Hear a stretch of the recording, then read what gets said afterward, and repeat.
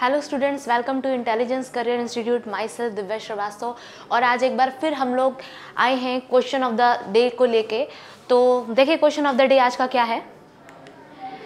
In platyhelminthes digestive system is incompleted ये बात हमको पता है कि प्लेटी हेलमेंथीज में जो डाइजेस्टिव सिस्टम होता है, वो कैसा होता है? इनकम्प्लीट होता है।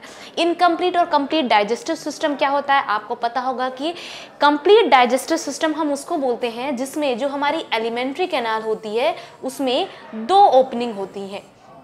ठीक? जिसमें एक से हम लोग बात करते हैं इंजेशन की, यानी एंट्री ऑफ़ फ़ूड की, और दूसरी जगह से बात करते हैं इजेशन की, यानी elimination of undigested waste food लेकिन ये किसकी बात है? ये बात है किसकी? कंप्लीट डाइजेस्टिव सिस्टम की। कंप्लीट डाइजेस्टिव सिस्टम की। बट यहाँ पे क्वेश्चन पूछा गया है incomplete digestive system incomplete digestive system में होता क्या है? पहले ये समझ लें। इनकम्प्लीट डाइजेस्टिव सिस्टम में ये इजेशन इंजेशन और एजेशन इन दोनों के लिए आपके पास सेपरेट ओपनिंग नहीं होती है। मतलब सिंगल पोर से ही इंजेशन ऑफ़ फ़ूड और इसी से ही इजेशन इंजेशन एंड इजेशन ये दोनों किससे होता है? सिंगल ओपनिंग से होता है। ये डिफरेंस है इनकम्प्लीट और कंप्लीट डाइजेस्टिव सिस्टम में। आपसे पूछा गया है कि Platyhelminthes phylum Platyhelminthes में इनकम्प्लीट होता है क्योंकि आपको बताना है कि यहाँ पर क्यों ऐसा होता है।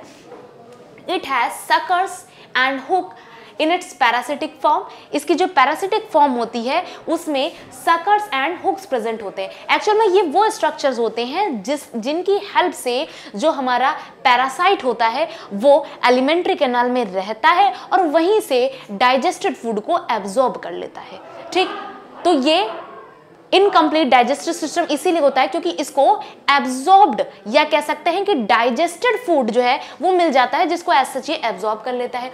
दूसरा ऑप्शन देखें इट एब्जॉर्ब्ड फ़ूड जन फ्रॉम जनरल बॉडी सर्फेस यहाँ पे एक टर्म होगा फ्रॉम जनरल बॉडी सर्फेस ठीक? तो ये बात भी सही है कि जो प्लेटीहेलमेंथीज होते हैं, ये नॉर्मल बॉडी सर्फेस से ही डाइजेस्टेड फ़ूड को एब्जॉर्ब कर सकते हैं, ठीक? किसके बारे में है ये, लेकिन पैरासिटिक फॉर्म के बारे में।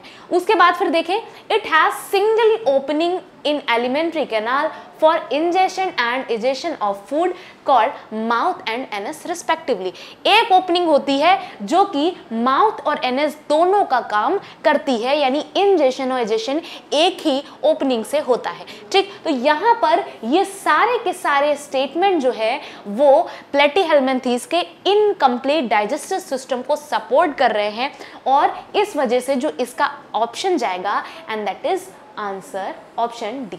ठीक है तो ऑप्शन नंबर डी होगा यहाँ पर, क्योंकि ये सारे के सारे इनकम्प्लीट डाइजेस्टिव सिस्टम को सपोर्ट कर रहे हैं। तो ये था आज का क्वेश्चन। अगले क्वेश्चन में फिर मिलेंगे, तब तक के लिए पढ़ते रहिए। Thank you so much.